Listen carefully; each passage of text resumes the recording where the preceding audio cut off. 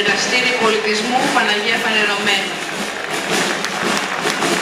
Έχοντας μια πορεία 30 και πλέον ετών στα πολιτιστικά δρόμενα της Ένδειας, έχει έδρα μια όμορφη πόλη, τη Νέα Αρτάκη, που χτίστηκε από πρόσφυγες της περιοχής Κιζίκου, Μικράς Ασίας στην Τροποντίδα.